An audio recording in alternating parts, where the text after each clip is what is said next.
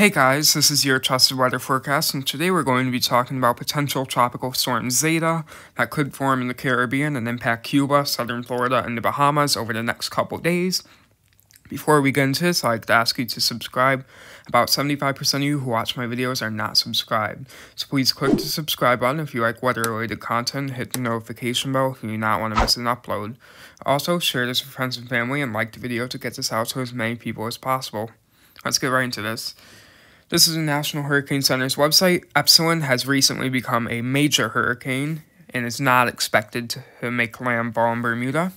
But in other words, there is a disturbance in the Caribbean that has a 20% chance of formation through five days.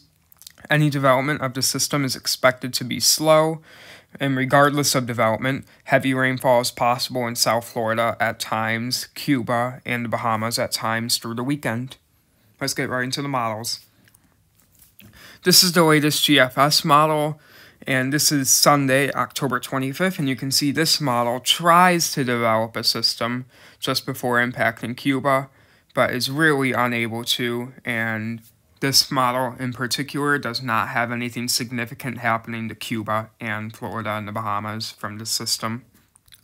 The latest GDPS model, however, does indeed have a system forming, potentially a tropical depression or low end tropical storm impacting the Miami area at that same time around October 25th, where that L1007 is, and it starts organizing more as it impacts the northern Bahama Islands, where that L1007 continues to be, and it pushes northeast, still weak.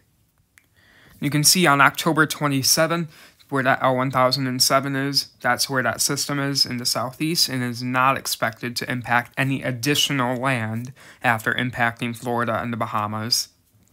You can see the ECMWF model where that L1010 is on October 25th.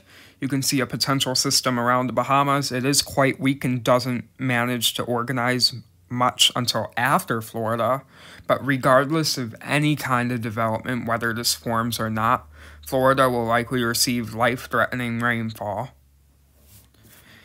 These are current sea surface temperatures in the Atlantic right now. You can see in the Caribbean, temperatures are very warm, 29 to 30 degrees Celsius waters, so if any storms can organize there, strengthening is expected.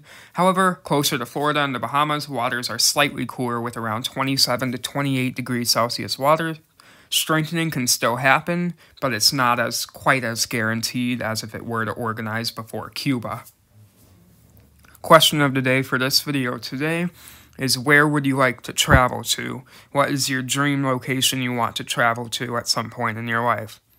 Comment below your answers and I will come over. That's your trusted weather forecast for upcoming potential tropical storm Zeta. Make sure to like, subscribe, leave a comment if you want. Goodbye.